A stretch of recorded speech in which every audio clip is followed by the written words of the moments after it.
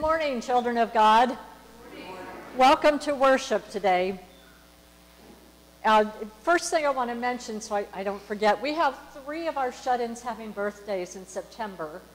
Dorothy Crow's birthday is September 3rd, and there's some more of these sheets out on the, the table where the guest book is that has addresses. So September 3rd is Dorothy's birthday.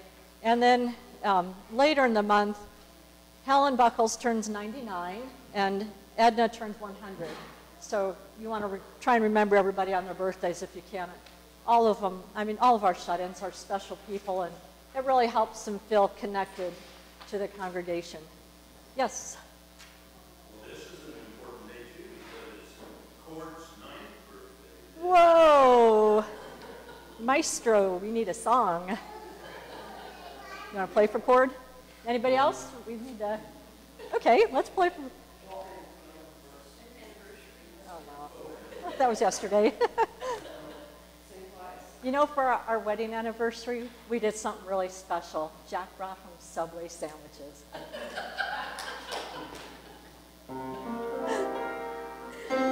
birthday to you. Happy birthday to you. Happy birthday, dear Cord. Happy birthday to you.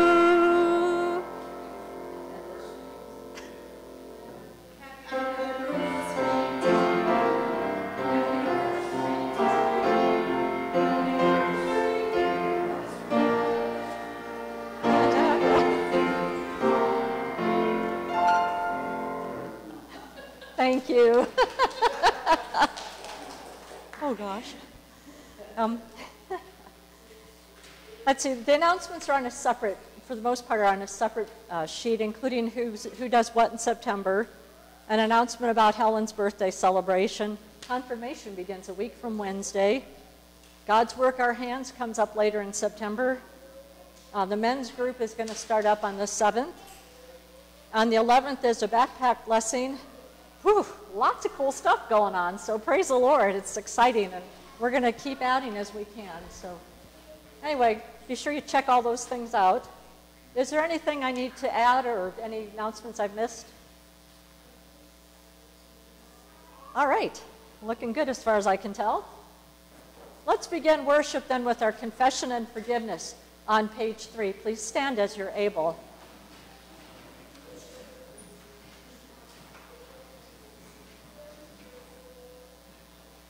Blessed be the Holy Trinity, one God whose steadfast love endures forever. Amen. Let us confess our sin in the presence of God and of one another.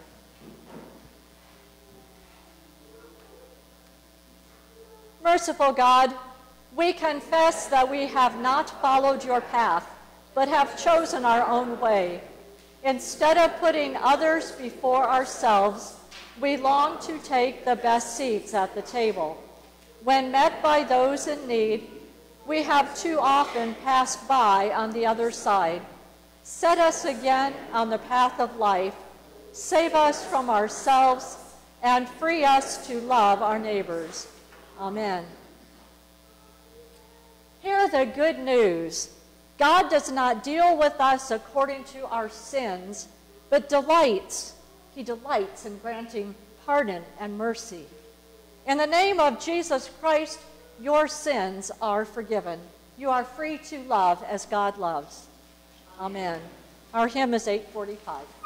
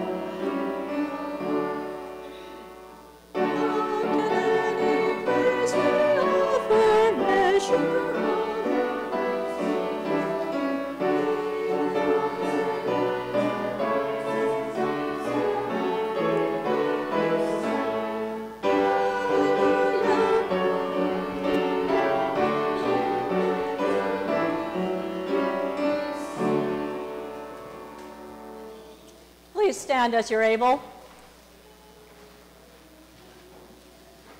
The grace of our Lord Jesus Christ, the love of God, and the communion of the Holy Spirit be with you all.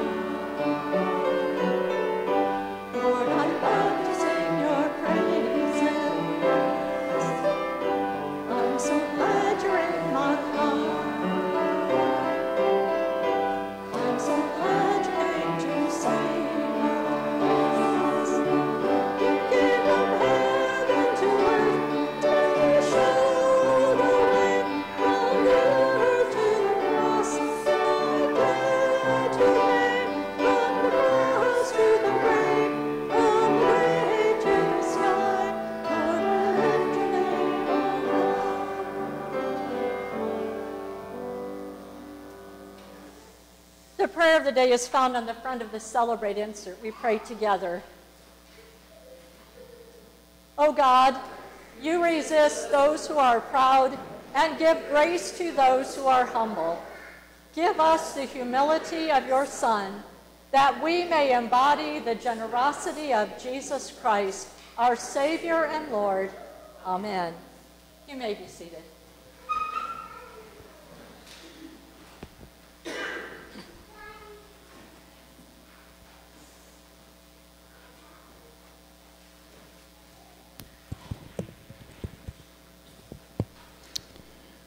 The first reading says from Proverbs 25, verses 6 through 7.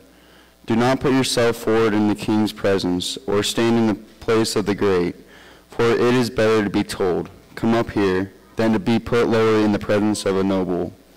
The word of the Lord. Thanks be to God. Today's psalm is Psalm 112. We'll repeat the refrain at the bowl of the R. Hallelujah. Happy are they who fear the Lord and have great delight in God's commandments.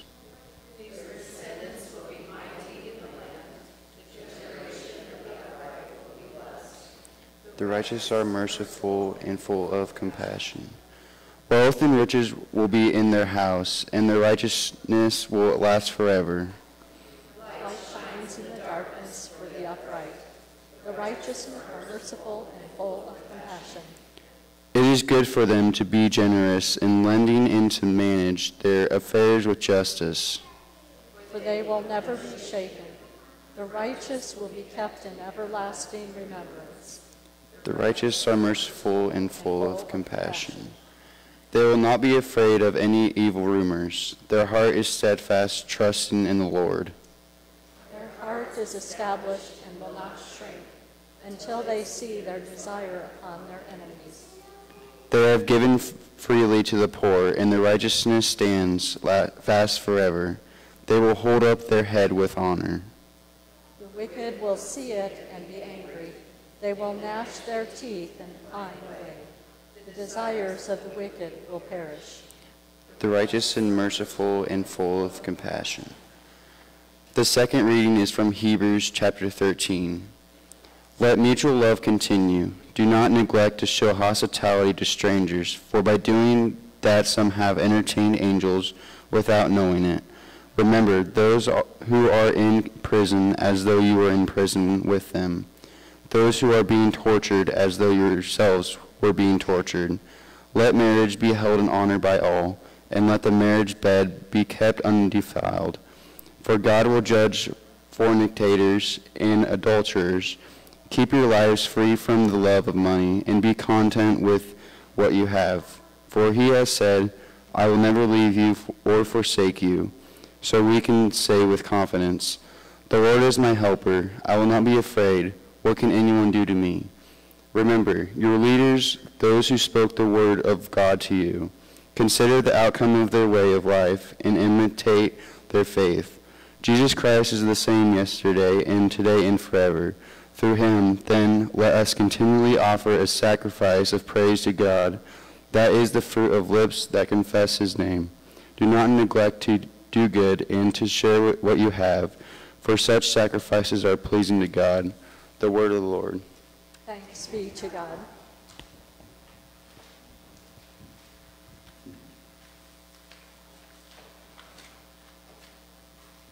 Please stand as you're able for the reading of the gospel.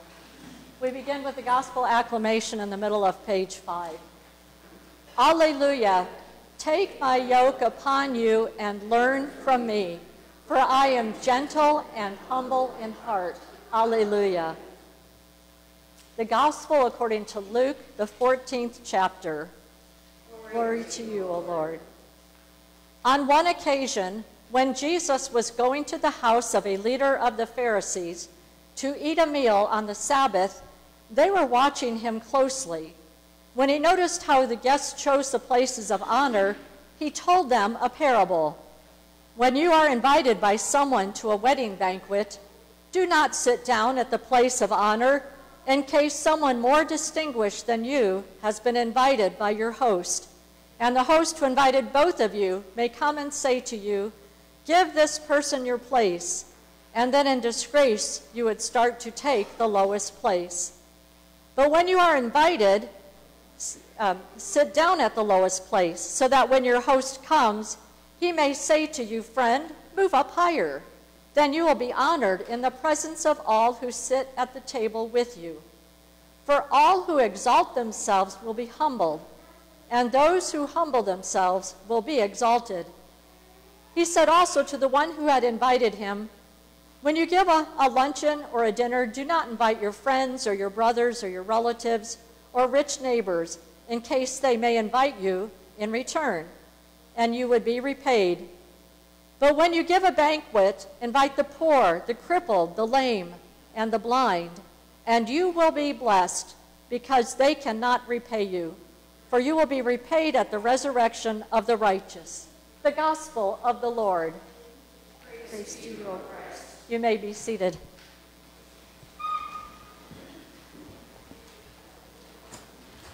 Any kids to come forward?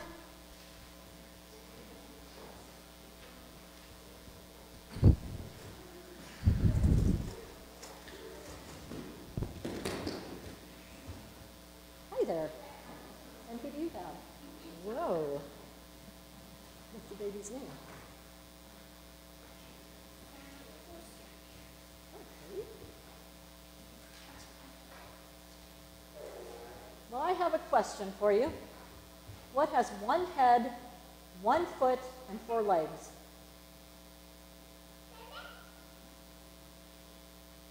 One head, one foot, and four legs.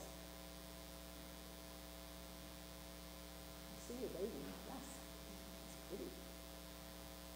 No, no, no ideas? Okay, well, let me show you. fall over my own feet.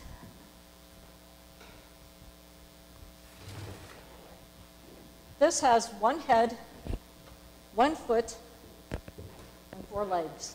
Because one end of the table is considered the head of the table, and the other end of the table is considered the foot of the table. And there's four legs that hold it up. Pretty clever, huh? In our gospel lesson today, it talks about sitting at places of honor, and that would be the head of the table. And it also talks about sitting at places that are lowest in honor or in status, and that would be the foot of the table. So this is a story about how we need to humble ourselves before God and not think of ourselves as being more important than what we are. And because God also humbled himself when he became man to die for our sins. So that's kind of the idea of the table. It has a head and a foot And Jesus said to pick the, the lowest place, and your host might invite you to come up to a higher place, and that's a good thing. But if you take a higher place and your host tells you to go down to the lower place, that's pretty embarrassing. So, because God loves us and takes care of us, and we know that He's the most humble of all and gives us that example, I thought maybe a spoon would help you remember this lesson.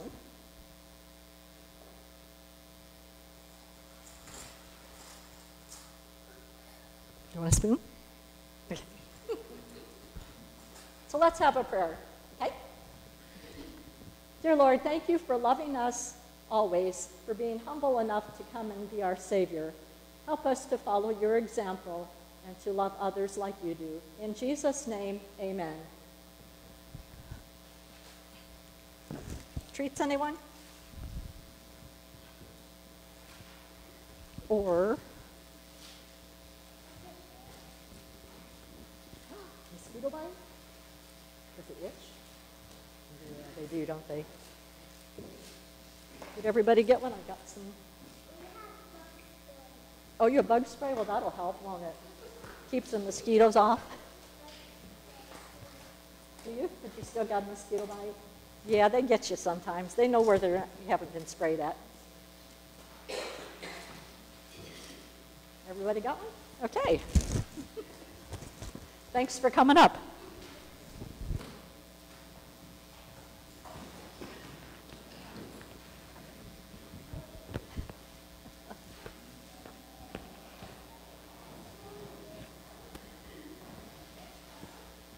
Grace, mercy, and peace to you from God our Father and our Lord Jesus Christ. Amen. There are a lot of things that we don't know about Jesus. However, we do know that he was welcome to many meals. For instance, the wedding at Cana, where Jesus changed tall jars of water into the finest wine. And Levi, the tax collector, after God called him to, or after Jesus called him, Levi invited Jesus to dinner along with other sinners and tax collectors. Peter's mother in law was very ill, and after Jesus healed her, she got up and served a meal. Jesus was a guest at the home of Martha and Mary.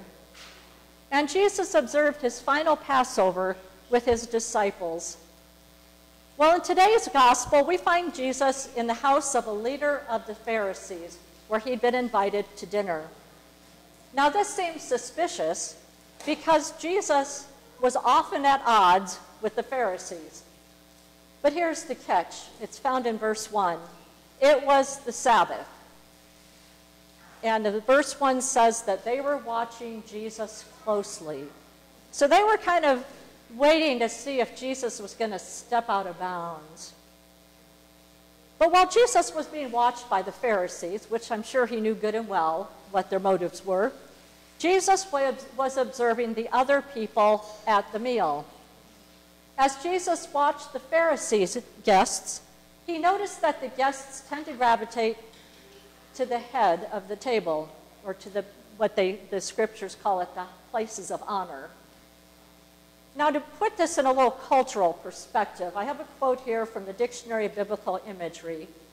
It says, Banquets are loaded with messages about who is up and who is down in status, who is in and who is out of the social or political circle. Invitations signify being in. Proximity to the host and the amount and quality of the food and drink offered indicate status. Refusal to attend a banquet is a powerful negative social message defying the authority and honor of the host. An invitation in those days was a big deal, any invitation to a banquet. And it wasn't just to enjoy the dinner, but to improve one's social standing or one's status in society. However, Jesus tells them not to sit at the places of honor when they are the invited guest. In fact, they should, he recommends they look for the lowest places and sit there. After all, you know, you don't know what the guest list is, and Somebody that the host thinks is more important may have been invited. And it's the host's prerogative in that culture to pick where people are going to sit, move people around the way he feels the order should be. So to be told to move to the lowest place would negatively affect one's status. It would be better to be moved to a higher place and be honored. This volunteer seating arrangement is basic banquet etiquette according to Jesus. And Jesus doesn't stop with what guests should do. He also talks about who those guests should be. He says, don't invite friends or brothers or relatives or rich neighbors. I mean, that's the obvious thing to do. Instead, invite the poor, the crippled, the lame, and the blind, and you will be, you will be blessed because they cannot repay you. That's basic etiquette for hosting a party, God's way. Now, the book Palestine in the Time of Jesus kind of gives us an idea of why that's significant. All persons invite their social network because they have something to gain by entertaining such a group invitations, favors, power, and honor. And this honor and shame and status power net was a really significant thing in their culture. But Jesus changes that. He says, invite the outcasts, the nobodies, the social rejects to the party. Jesus basically takes their culture and just throws it out the window. He replaces it with the idea of God's honor. Because in God's book of etiquette, honor is not based on the person's qualifications, but entirely on God's mercy. Consider how Jesus changed those banquet policies of his culture. Guests should humble themselves rather than desire the seats of honor. And instead of inviting, relatives and family and rich and friends, invite the poor and the crippled, the lame, the blind. God proves, God proves this idea of honor by inviting all of us with our sins and our flaws to his banquet table. Jesus was the ultimate guest on earth. He was fully God and fully human, and yet he humbled himself unto death, even death on the cross. And because of Jesus' death and resurrection, eternal life is available to all who believe. Jesus humbled himself so we could receive honor. There's a place for all of us in God's kingdom. Faith and salvation are not our doing, but purely a gift of God's grace. Paul reminds the church of Ephesus, For by grace you have been saved through faith, and this is not your own doing, it is a gift of God, not the results of works, so that no one may boast. This psalm today reminds us to give freely to the poor. And Hebrews tells us that by entertaining or by showing hospitality to strangers, we may entertain angels without even being aware of it. Becoming a Christian is an act of faith through God's grace and mercy. But being a Christian takes work. It takes work like loving persons whom the world rejects. And it includes things like giving our time and our money and our talents to help others. And Christian living includes gathering to worship, prayer, praise, read scripture, and to serve God, the God we love, above all else. At times, being a Christian is countercultural. God's way isn't always the way that people expect. Now, today at Zion Lutheran, we had two students that were confirmed in their faith in the triune God, the Father, Son, and Holy Spirit. And it is truly amazing when somebody says yes to God. And I'm excited because in less than two weeks, in that short time, we have eight students, eight students that will begin their confirmation journey here at Christ. That's fabulous. They'll be gaining a deeper understanding of Scripture and, and the teachings of the church.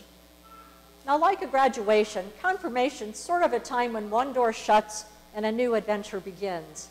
But instead of uh, graduating away from the church and never coming back, it's a, It's, the real joy is in continued learning about Scripture and participating actively in the life of the church and in God's work. Paul explains the process like this When I was a child, I talked like a child. I thought like a child. I reasoned like a child. When I became a man, I put the ways of childhood behind me. As we experience life, as we continue studying God's Word, we mature in our understanding of God's incredible love and sacrifice that was made through Jesus Christ for our sins so that we could be forgiven. And regardless of where you are in your walk with Christ, consider these words from Hebrews Jesus Christ is the same yesterday and today and forever. Through him, then, let us continually offer a sacrifice of praise to God. That is the fruit of lips that confess his name. Do not neglect to do good and to share what you have, for such sacrifices are pleasing to God. And to quote Martin Luther, this is most certainly true. Amen. We continue with hymn 583.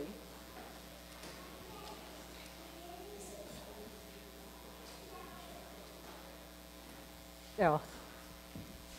Should be 583.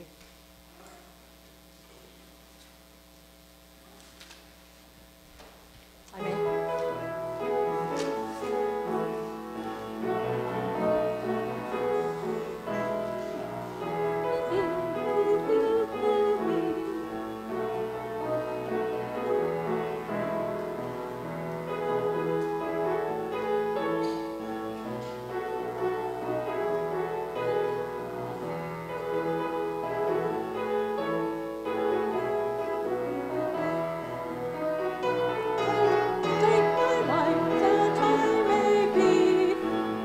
consecrated, Lord, to Thee.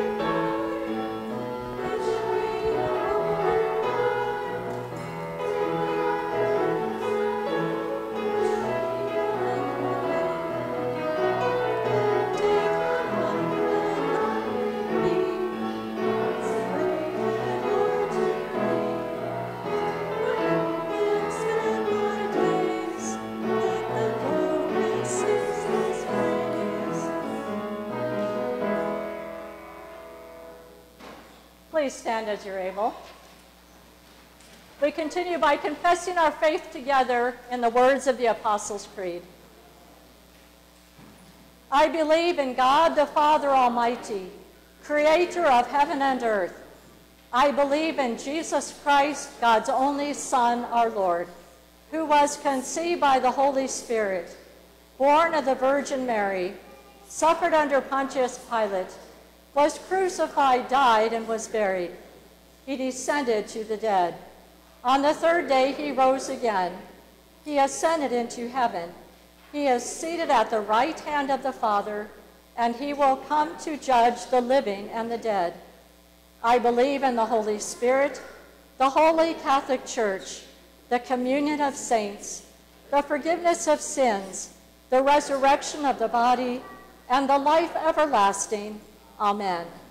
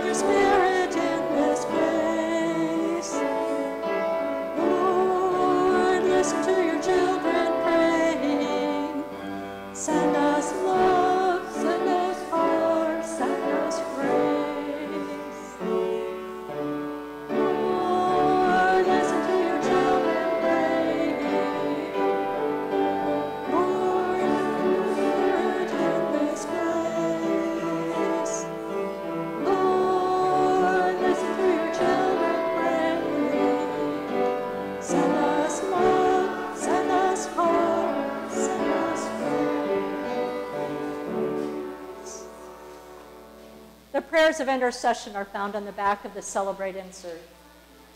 Trusting in God's extraordinary love, let us come near to the Holy One in prayer. For the church and its leaders, we pray. Uphold all deacons, pastors, and bishops who serve and teach your people. Awaken in your church a spirit of invitation that reaches ever outward. Merciful God, for the well being of creation and its inhabitants, we pray. Stir in us reverent awe for the beauty of the natural world, for oceans and lakes, rivers and streams, forests and deserts. Merciful God, for the nations and peoples of the world we pray. Sustain the efforts of those who pursue justice and equity for all. Defend and accompany all immigrants and refugees and all who are persecuted for their ethnic origin or religious beliefs. Merciful God, for all who suffer in body, mind, or spirit, we pray. Be present with those who live in isolation or fear, especially those who are incarcerated or detained. Comfort all who are sick or grieving. Especially we pray for Joshua and Rod and Irvin and Everett and Adam and Tammy and Jan and Gary and Riley and Perry and Elijah and Joanne and Brett and Tragan and Laverta and Howard and Don. Merciful God, for this congregation and its ministries we pray. Prepare children, teachers, and youth ministry directors for a new year of learning. Embolden our witness to invite others to the table. Merciful God, for all the saints who confess God's name, we give thanks. May we cling to the promise of our risen Savior, Jesus Christ, the same yesterday, today, and forever. Merciful God, receive the prayers of your children, merciful God, and hold us forever in your steadfast love. Through Jesus Christ, our holy wisdom. Amen. The peace of Christ be with you always. And you may share Christ's peace with each other.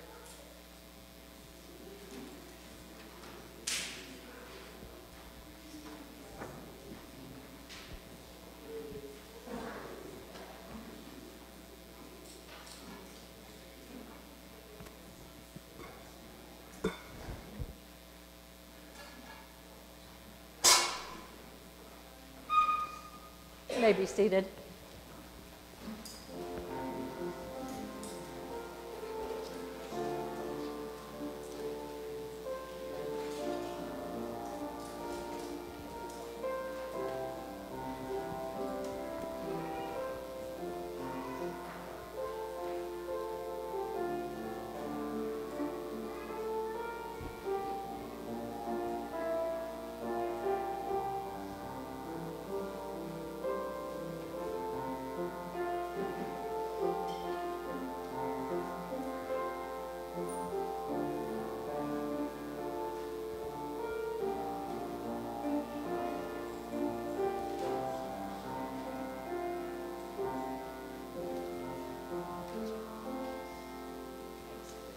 Please stand.